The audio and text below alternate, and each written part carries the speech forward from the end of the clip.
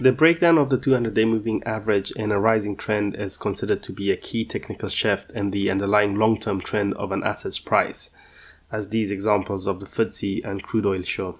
But more often than not, these breakdowns prove to be only temporary. It is these failures that I want to discuss in this video, as they often provide strong signals that the prevailing trend has resumed. Hello, I'm Fawad Razaqzada, market analyst with ThinkMarkets, and this video is part of our series on trading the failure of key reversal patterns. Now in the previous videos in this series we have already discussed the failure of typical chart patterns as well as candle shapes and continuation patterns. Using the same logic in this video I'll show you how to spot and trade the failure of the 200 day moving average breakdown. I am assuming you know the basics of the 200 day average in this video, but essentially it is, as the name suggests, a moving average of price over a period of 200 days. It provides investors an objective way of identifying the long-term trend. Now, in normal circumstances, a move below the rising 200 day average is considered a major bearish development as it objectively tells us that the long term trend has ended. However, if price quickly goes back above the moving average after spending a few days to a couple of weeks below it, that is a strong indication that the trend has not ended yet. The lack of immediate downside follow through points to weak supply, and so as a minimum, you will usually see price stage a decent bounce as disappointed sellers rush for the exits. The failure of the 200 day average breakdown can sometimes be anticipated, specifically by looking at correlating markets. For example, the S&P 500 may have found a strong support from around its 200 day average after a period of selling pressure, but Another index such as the German DAX may still be holding below its 200-day average. In this case, the breakdown of the DAX below its 200-day average may prove to be a bear trap since both indices typically go in the same direction. So, always look for correlating markets when anticipating any types of failures, including trading the failure of the 200 day average breakdown. Obviously, the opposite is true in the case of a bear trend where the 200 day average is offering resistance. And when it comes to trading the failure of the 200 day average break in a bear trend, we look for price to go back below the falling 200 day average for a short trade. Let's now look at a few examples to discuss how we could trade the failure of the 200 day average breakdown. Now, the euro dollar was in a strong bearish trend in 2019, but at the end of June, it attempted a breakout above the falling 200 day average. Although it held its own above the moving average for a few days, price went back below which cleared the way for an eventual drop to a new yearly low.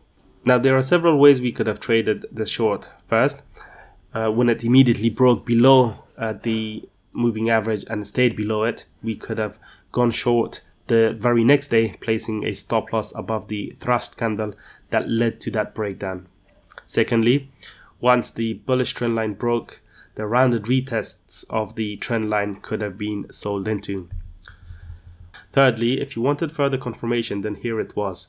Price made a lower low when it broke this neckline of the head and shoulders pattern.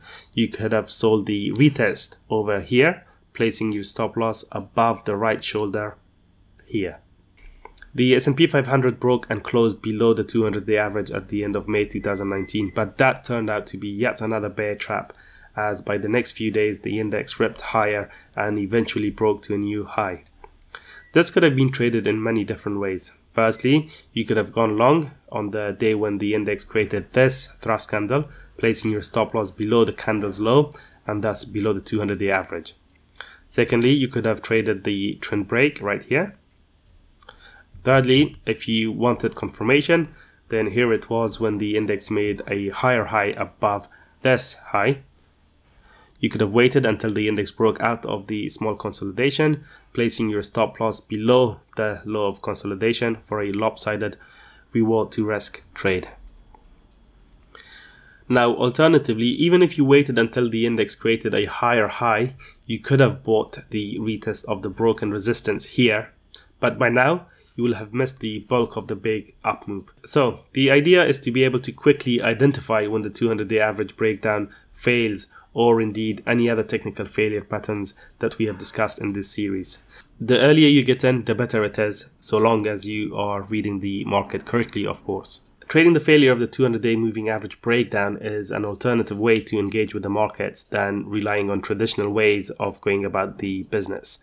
This way of trading often provides you with a strong idea where price is heading to. In most cases, above or below levels where the trap traders' stop loss orders would be resting. However, it does require some thinking outside the box, which is something needed in order to become successful over time. If you found this video useful, please like and share as this will encourage us to provide more content like this. Also, if you haven't already done so, please make sure to subscribe to our YouTube channel. See you on the next video.